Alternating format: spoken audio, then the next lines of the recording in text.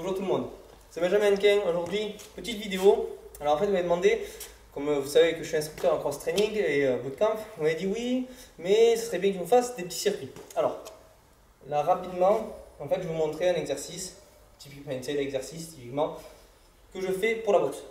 Alors, je vous dis tout de suite, ça ne servira pas que pour la boxe justement, ça va servir aussi pour tout le monde.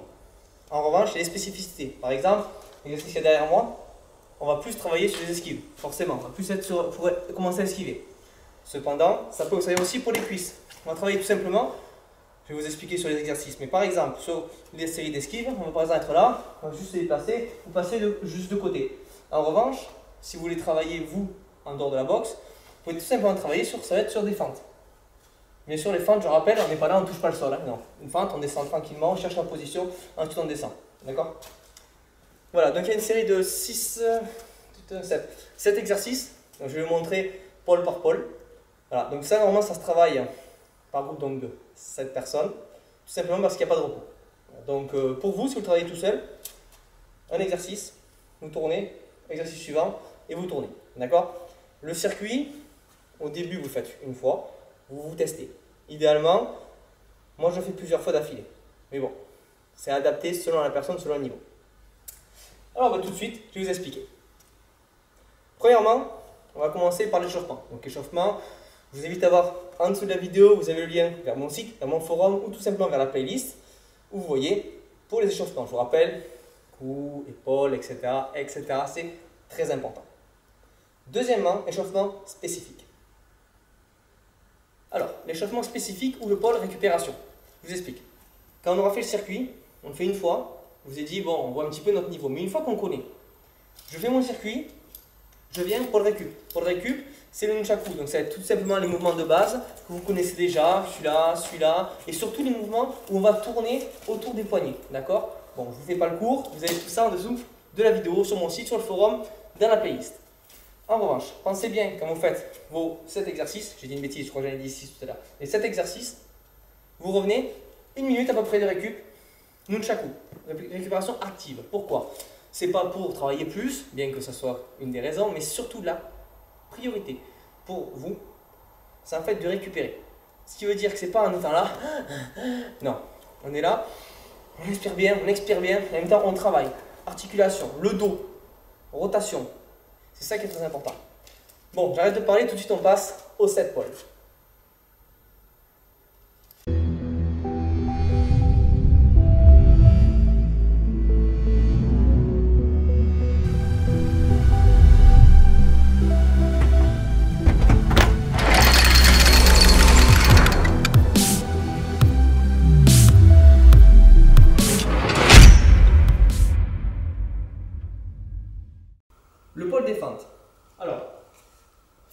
Ou esquive avec les mini-fentes pour la bourse. Je vais vous montrer les deux. Alors, le premier, très simplement, euh, faites attention. Moi, j'ai mis niveau des épaules. Je ne sais pas si vous voyez, là, voilà, niveau des épaules. Tout simplement parce que je vais vraiment devoir me forcer à descendre. Et surtout, à ne pas faire ça. Ça, c'est n'importe quoi. Donc, quand on est là, on va vraiment travailler. Et je vais commencer à travailler doucement. Je vais vraiment être, je vais, en fait, si vous voulez, pardon, je commence doucement. Je suis là, je vais passer, passer, passer. Et je vais frôler, en fait. Le but, c'est pas de faire ça. On va pas faire ça, hein. Non. Quand on est là, je vais travailler, tac, tac, et là, je vais doucement passer dessous. Euh, au passage, j'écarte. Je passe dessous. Pourquoi? Parce qu'après, j'enchaîne sur les coups de pied. Donc, l'important ici, ça va être ça. Deuxième solution, si vous travaillez en musculation, ça va être tout simplement travailler, en fait, on va être sur des fentes. Fente, je rappelle, c'est pas ça. C'est pas non plus ça. Là, non. Fente, on va être, en fait, on peut commencer d'ici. Mais l'important, c'est en fait quand on descend, notre genou, regardez bien, il n'est pas ici il n'est pas non plus ici. Je suis à peu près, je descends à, à peu près à 90 degrés au niveau de ce genou-là. D'accord? Et celui-ci, pareil, on ne va pas descendre trop en arrière, ni trop en avant. Voilà. Le pôle 1, on avance, on recule. Je vous invite à voir en dessous de la vidéo, vous avez pareil sur mon site ou sur le forum encore dans la playlist, l'exercice détaillé. Deuxième pôle. Alors, deuxième pôle, ça va être avec la barre. Alors, c'est soit toast to bar, soit relevé de jambe, soit relevé de genou. Euh, je vais vous montrer, disons, euh, relevé de jambe. Comme ça, vous allez voir la position aussi pour le relevé de genou. C'est à peu près la même chose, à part qu'on va remonter les genoux. Toast to bar sera avancé. Je crois que je vous ai fait une vidéo, oui, donc vous allez juste en bas si vous ne savez pas le faire, dans euh, ma playlist ou alors sur mon site ou encore sur le forum.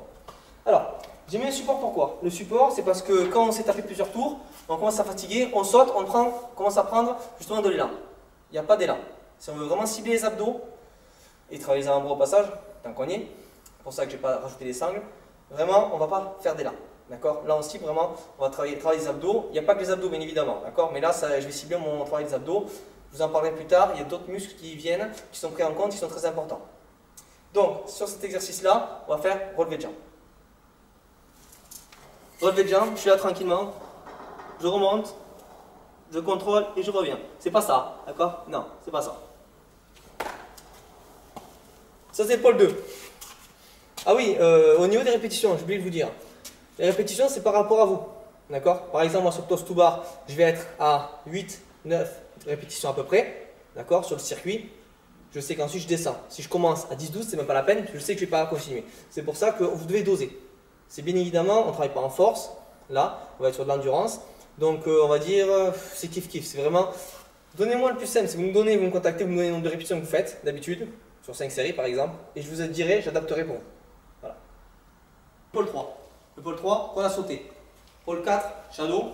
Vous allez voir en fait que je tourne. Je vais travailler bas du corps, abdos et d'autres muscles et haut du corps. En fait, je vais faire tourner. Shadow. Ensuite, robe abdominale, genoux ou sur les jambes si vous y arrivez. Voilà. Moi, je fais encore sur les genoux, je vous dis clairement. Sinon, ça tire, c'est pas la peine. Quand, dès que vous voyez que ça tire dans le dos, quand vous travaillez les abdos, il y a le feu, c'est pas bon. Avant-dernier exercice, déplacement. Ça je vous montrerai parce que vous ne l'avez jamais vu encore. Euh, dernier exercice, vous avez déjà vu, c'est en fait tout simplement un sprint. Donc euh, vous faites un sprint sur 20-30 mètres en fait, sprint, vous arrivez, vous faites 5 à 10 burpees. Burpees, je vous rappelle, c'est pompe, squat sauté. Vous en faites 5-10, voilà. En fait, euh, moi je commence à 10 et je descends. En général, à la fin, j'en fais 2-3. je suis KO.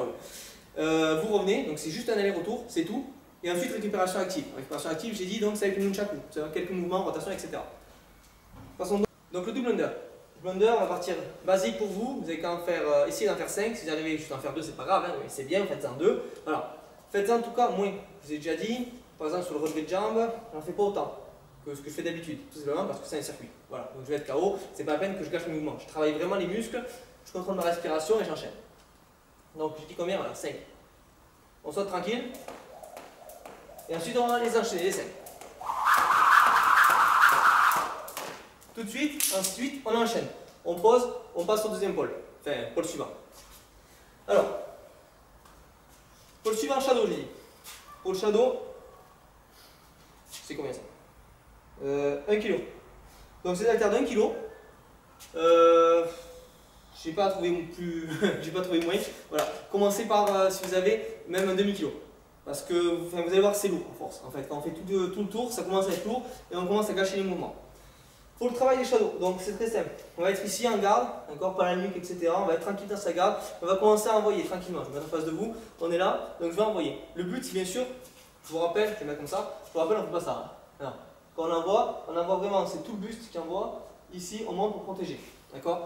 Euh, Pareil, je vous renvoie sur mon site, mon forum qui est en dessous de la vidéo. Vous avez toutes les vidéos qu'il faut, même dans la playlist. Donc, shadow, tranquille, tac, tac, tac, une minute. Ok? Donc, chrono important. Vous le chrono avec vous. Moi, ce que je fais, c'est que j'ai une musique. Là, euh, musique, euh, c'est des playlists workout, je sais pas quoi, vous savez, sur Google. Là. Il y en a certaines avec des intervalles, en fait, c'est toutes les minutes. Ça fait un petit bip. Moi, ça me va très bien. Vous allez comprendre ensuite pourquoi. Donc, prochain pôle, robe abdominale. Robe abdominale, bon, je ne vais pas vous remontrer pareil. Moi, je fais sur les genoux, je vous ai dit. Je vous conseille vraiment, faites sur les genoux, part vous ayez un très bon niveau. Mais ça m'étonnerait qu'en faisant un circuit comme ça, vous arrivez à faire euh, des mouvements complets, parce que franchement, ça défonce. Prochain exercice, les plots. Pour le sixième pôle. Alors, je me mets ici, j'ai pris les deux autres pôles, en fait j'ai ma roue et les mini-haltères, parce qu'en fait ici il y a le contre-jour. Voilà, et puisqu'en plus il faut vraiment que j'investisse dans le matériel, quand j'ai pas de trépied sous la main, ben, c'est par terre donc ça fait n'importe quoi. Voilà, donc je vous montre ici. Imaginons que ce sont les plots, d'accord? Les plots, il y en a 9. 9 plots, c'est en fait un carré avec au centre un autre plot. Ce qui est important de comprendre, c'est les déplacements. Trois types de déplacements. Deux pour débutants, un pour avancer. Les débutants, imaginons donc là j'ai mes plots, euh, c'est pareil. Hein. En fait, on va tout simplement se mettre la garde, se déplacer en pas chassé. Pas chassé, je peux changer. Je peux changer de place, hop, je me redécale, hop, je change de garde, hop. C'est pas grave. C'est un peu du n'importe quoi, c'est vrai. Mais l'objectif, c'est commencer à travailler. Commencer à pas être comme ça. Non, on est là. On n'est pas comme ça non plus, mais on est vraiment dans sa garde. Un petit peu baissé, j'ai déjà montré. jambes plus écartées que normal. Pourquoi? Vous savez que ça c'est un peu ma manière de combattre plus tôt. Voilà, normalement on va être plus la jambe des épaules, moi je remonte plus. Pourquoi? Parce qu'en fait je vais travailler beaucoup sur la jambe arrière. Bref. Donc ça c'est niveau 1. Niveau toujours débutant, niveau 2. Avec un élastique. On a un élastique donc autour, on fait passer autour. Je vous ai déjà montré des exercices avec les élastiques. Je crois que c'était sur la mini-fente. Donc on est ici. On va travailler en fait pareil. Mais, attention, c'est là où c'est important. Dès qu'on va donc tourner autour, donc je vais faire mes lignes. Imaginons que ça c'est point. Je suis tranquille. Et puis quand je dois changer de sens, c'est là où c'est important. Au lieu de me déplacer, de changer de garde comme je fais d'habitude, là non. Je tiens toujours ma garde, je suis concentré. Et en fait, quand je vais me déplacer, ici attention. Au lieu de changer de garde comme ceci, ce qui est n'importe quoi. On est là, et là je vais me déplacer doucement pour reculer et pour me remettre dans l'alignement. Pourquoi? L'objectif c'est que vous forciez à avoir déjà une bonne garde. pour ça qu'il y a l'élastique qui vous force à garder la garde. Pas l'avoir ici. Pas l'avoir ici, ça sert à rien, On va vraiment rester à cette hauteur là. Deuxièmement, on force déjà à vous déplacer en étant compact. Dernier exercice, ça, niveau avancé, avec ou sans élastique. Ça, c'est à vous de vous doser. Quand vous avez ce niveau-là, c'est bon, vous créez vos propres exercices. Là, par contre, on va beaucoup travailler sur les frappes. Ce qui veut dire qu'on va être, en fait, tout simplement, je vais me déplacer. Puis dès que j'arrive devant un pot, 1, 2, 3, petite esquive si je veux, déplacement, et je continue. Par exemple, si je me mets là, donc j'arrive ici, tac, tac, je suis ici. Je vais faire 1, 2, 3, par exemple. Par exemple, 1, 2, 3, esquive. Et en passant le pied, par exemple, je rajoute une petite pichenette, ça veut dire crochet, uppercut, ou alors direct, j'aime pas trop. je faire crochet ou uppercut. Le crochet, là, quand on se déplace, quand on passe de tout, dessous, il rentre très bien. Une fois qu'on a fait ça, donc là, j'ai fait mon petit crochet, je suis là. Là, je vais avancer tranquille, et une fois que je suis là, c'est pareil. Attention, autre côté par contre. Là, le plot est ici. Tout à l'heure, je vous rappelle, je passais d'ici à ici, donc à la droite, mais je passais vers la gauche. Vers la gauche, simplement, je vais là, tac, tac, tac. Et en fait, je vais, en me déplaçant, c'est où c'est important, en déplaçant, je vais avancer le pied. Je recule un peu sur l'arrière en fait. ça, je suis toujours un peu sur l'arrière. Je vais être là, tac, tac. Et en passant, c'est là où justement, soit on passe supercute, soit on passe le, le, crochet. Pardon, fatigué. Donc, c'est là où c'est important d'avoir fait l'exercice 1 avant, qui est donc la mini-fente ou la fente vous voulez. Parce qu'en fait, vraiment ici, quand on est là, quand on va passer par-dessous, c'est pas ça. Non. On est ici, tac, tac, et là on passe. Et c'est quand on tourne, on l'envoie, d'accord? Là, vous pouvez passer l'uppercut. Je préfère quand vous êtes ici, là, comme c'est, en fait, vous êtes dépassé vers ici, moi je trouve que ça, c'est un uppercut qui passe moins. Voilà. Moi en combat, je ne passerai pas comme ça, en tout cas. Par contre, je suis ici en combat, là je vais y aller. Parce que je suis vraiment du bon côté, je commande mon bon point, là je vais rentrer, je vais me faire plaisir. Euh, ben ensuite, voilà, c'était le sixième pôle, donc il y a ici. Septième pôle, sprint aller-retour, burpee, euh, je connais 5-10 à peu près. Donc euh, ça dépend de votre niveau. Par exemple, si vous en faites 10, d'habitude, vous allez en faire moins. Commencez par exemple à 7-8, vous allez vite descendre. Moi, je commence à 10, je finis à 2-3. Donc ne euh, vous inquiétez pas, c'est normal.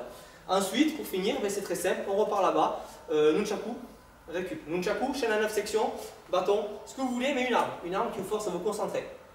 Ça veut dire qu'en fait, vous être là pour récupérer la respiration. Et en même temps, vous allez travailler rotation. Rotation du bâton, de la chaîne du nunchaku. Pourquoi je dis ça? Tout simplement parce que vous avez ces vidéos-là sur mon site, mon forum et sur mon YouTube. Voilà. Pour l'instant, je n'ai pas fait les autres. Euh, y a, on va faire bientôt le tri-bâton, euh, le sabre, l'épée et euh, d'autres armes que j'aimerais bien travailler comme la, la barde. Voilà. Mais ça, vous dirai parce qu'il faut d'abord que je révise un peu tout ça.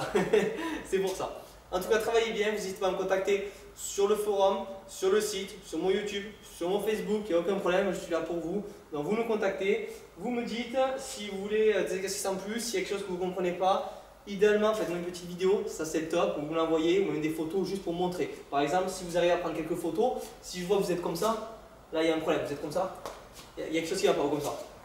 Vous voyez, ça se voit, ça peut être vous corriger. Sur la fente, là, si vous êtes ici, ça va pas non plus. Si je vois que vous êtes comme ça, je pourrais vous corriger. C'est là où c'est important moi qu'on communique.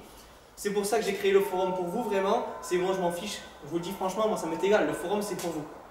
Vous participez, c'est bien, participez pas, c'est pas grave. Moi, ça revient au même. Par contre, si vous êtes sur le forum, vous pouvez vous entraîner. C'est là où les photos, ou au moins, en tout cas, d'avoir testé les exercices, est très important. Vous y allez, vous en parlez. Voilà, j'ai fait ça, j'ai mal. Ah bon, comment? Qu'est-ce qui se passe? Moi, j'arrête de parler. Maintenant, il y a l'entraînement, donc je vous laisse travailler bien.